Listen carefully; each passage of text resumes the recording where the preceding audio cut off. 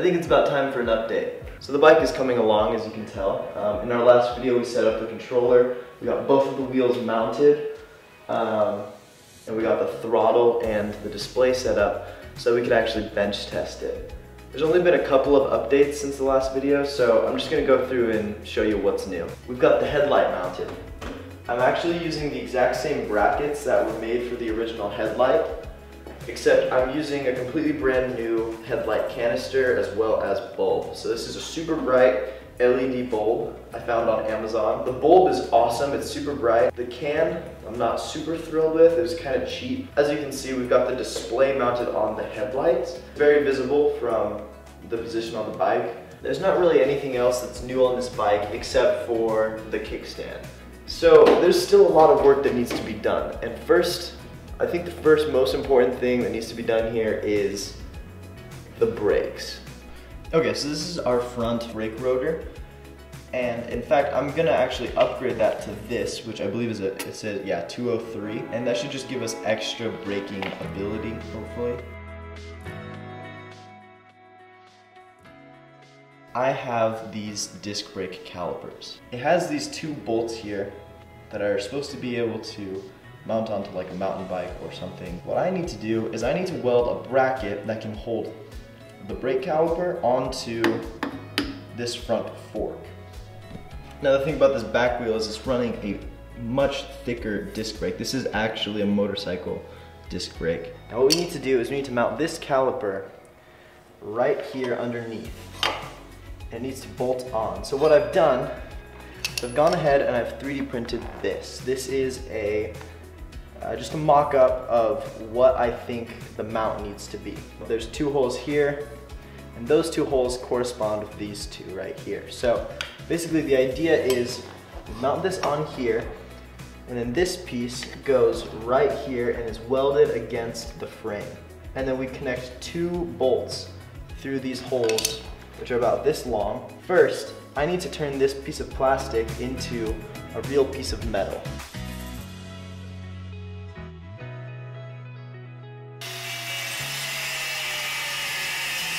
Alright, it's been a little while, the sun's now going down, but I was able to manufacture this mount for the rear brake. I'm going to drill these two holes.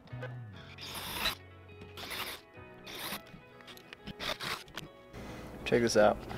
It's really dark, but this barely fits. It's like, it's really tight. It's perfect. I'll probably check back in tomorrow.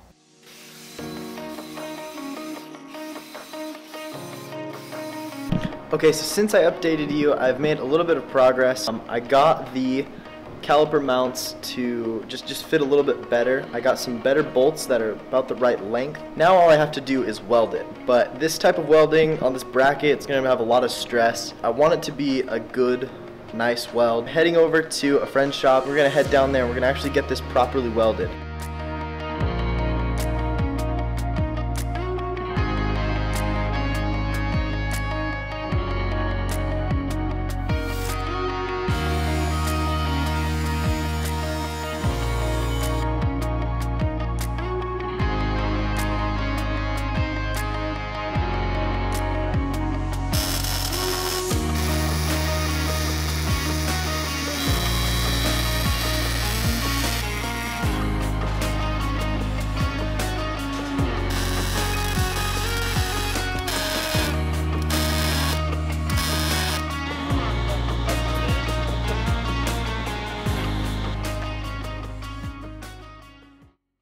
So I managed to get the brakes installed on the motorcycle the correct way and I was able to do some cable management. Managed to get these um, twisted the correct way and bolted down.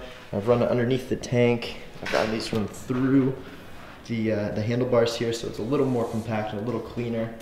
So now that we have it down, I have to actually bleed the brakes because there's air in the lines. I've been having some trouble bleeding them traditionally just by using gravity. So instead what I've done is I've gone out and I bought this. This was at like a, uh, a veterinary supply store. We've gotten this hose. So I'm going to be pushing brake fluid backwards through the brake cylinder, hopefully catch it as it comes out here so it doesn't overflow. because brake fluid is incredibly corrosive and it will screw up your paint. It will, it'll mess it up, so.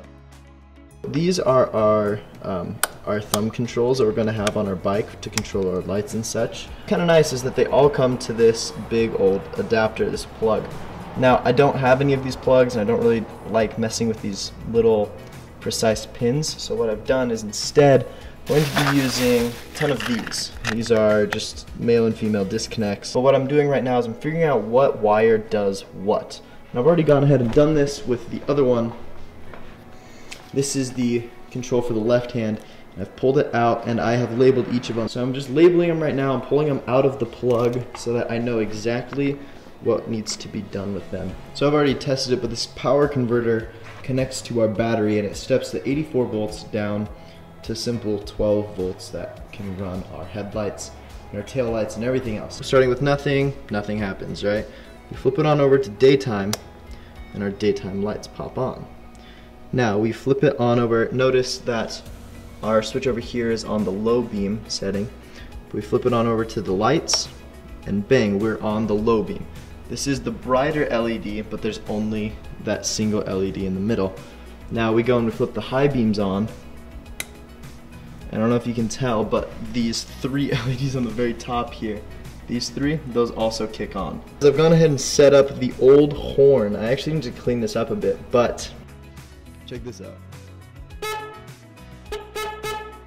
There's these two screws that go into the seat, and I just put washers over them and screwed them down pretty tight.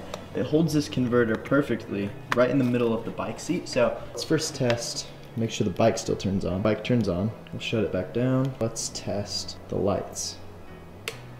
Oh yeah, flip that.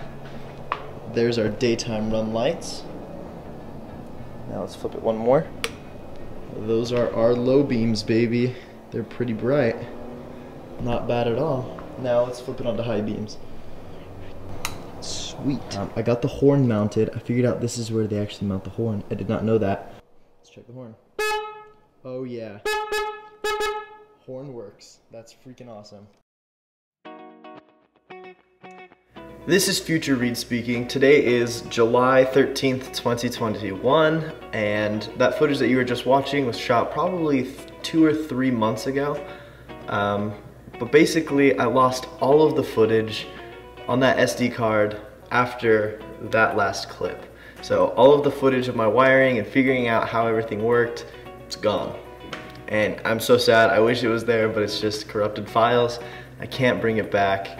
But all I did is I basically probed around with the little multimeter, figured out which, which wires went where, and then based off of that, I hooked it up to our 12 volt system. Um, and I got it all working. I hooked the entire 12 volt system up to a key switch. That's basically all I have figured out, but I have more videos coming very soon because I have an entire catalog of all of the footage on the motorcycle, so stay tuned for that. All I have to do is edit it, so yeah, stay tuned. See you soon.